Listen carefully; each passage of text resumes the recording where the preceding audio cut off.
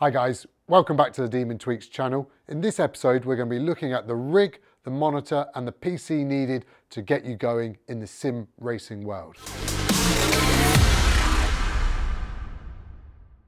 First of all, Gaz, the rig. What does it do? What's important about the rig itself? So Joe, the rig itself needs to be strong, needs to be sturdy, and it needs to support these high performance direct drive wheelbases, pedals, and any shifters or handbrakes you need.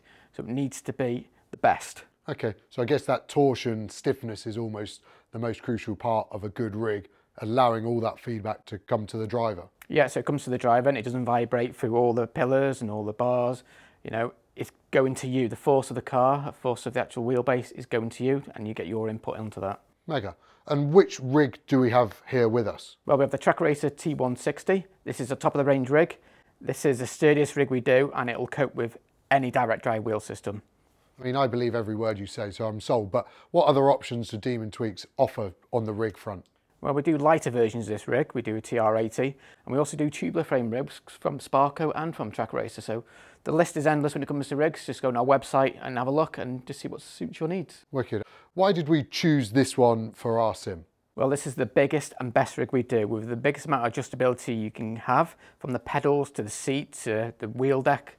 So we can tailor for anyone in this rig. Okay, and talking about that, I actually noticed that the monitors aren't directly mounted to the rig itself. How exactly does that work? Well, we decided on this build to go for a freestanding monitor mount so you can move it around a bit more around the rig, um, as we'll need to move it at some stage, but you can also go for an integrated one, so it's bolted straight onto the actual chassis itself.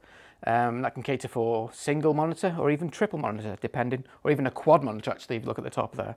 It's awesome, it's really impressive. I have to kind of ask what's important about a monitor? Why can't I just use my TV that I've got in the lounge? If you use your TV, then the refresh rate will be far too slow. So by the time you've seen a braking point, you'll be at the next corner. These refresh rate on these monitors are 180 hertz. So that'll give you a clear picture and you'll be able to see your braking point, turning point, crystal clear. Amazing. So it's like three times more picture per second than my TV. So even for me, that's easy to start to comprehend how the performance will start to really help.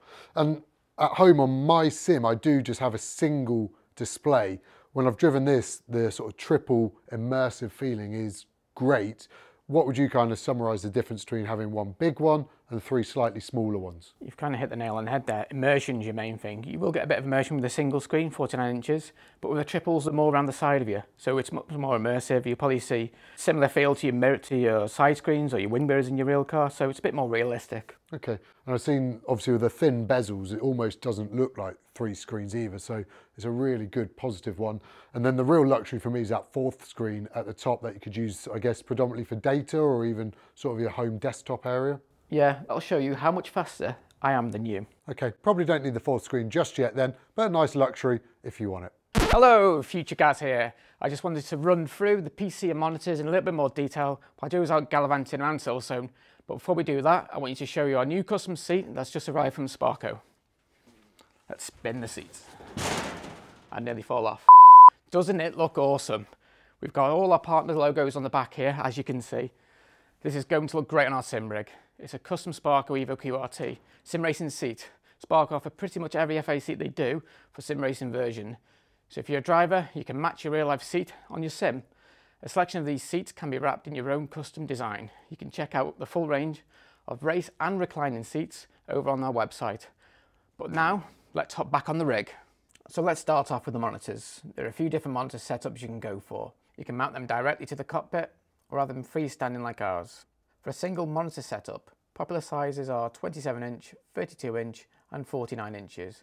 But most sim racers prefer to use a triple monitor setup, giving them the most immersive experience. The three LG monitors we have here are 32 inches, they have a refresh rate of 180 Hz, less than 1 millisecond response time, contrast ratio of 1000 to 1, and also have slim bezels providing a fantastic wraparound image. Our fourth monitor is slightly smaller, it's 27 inches in size, which we use mostly for data and to see when I'm faster than Joe, which is all the time. Moving on to the PC, iRacing is probably the most demanding sim on the market today. If you have a PC that can run iRacing, then it should run most other titles such as Assetto Corsa, R-Factor, and so on. We've got a selection of pre-built PCs on our website, but for our rig, we're using the Overclockers Pro gaming PC. It has 1TB of storage, 6 core processor, 32GB of RAM, and the most importantly for me, it has an Asus GeForce RTX 3060 Ti graphics card. All these components give us a smooth and uninterrupted experience with sharp graphics too.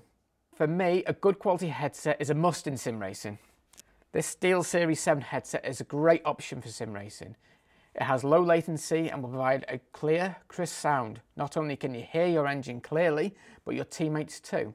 They'll be providing you with vital information while you'll do all the important stuff on track. An added bonus here is that the wireless. So you don't have to worry about any wires getting in the way. Now, let's get back to past Gaz and Joe in the studio. And I think the next part really is the software, not the geeky stuff that you know about, but the actual games itself. We've got iRacing here, a game that I've played on a lot, if I can say the word game. No. Um, but there's so many others out there as well, isn't there? Yeah, there's a lot of different games. No, actually simulators, Joe. Games are like Gran Turismo and Assetto Corsa, you know, sim proper simulating games give you the real feel, to give as close feel as you can to a GT3 car. So my choice is iRacing, something I enjoy, and hopefully something everyone else can enjoy. Yeah, and I mean, Assetto Corsa Competizione is something that has really had a huge link with my GT3 world in terms of there are actually championship points given in the virtual world to link up with the real world. So it's starting to get a real synergy. And even I find some of the arcadey games slash simulators enjoyable, be it Dirt 5, especially with one of those handbrakes. There's so much fun to be had. And I think it opens up maybe to a slightly younger audience to learn a little bit more about the whole sim racing world. And just remember, all of those products are available on the Demon Tweeks website. The links are in the description below. And if you enjoyed this video, click on the subscribe button and we'll see you in the next one.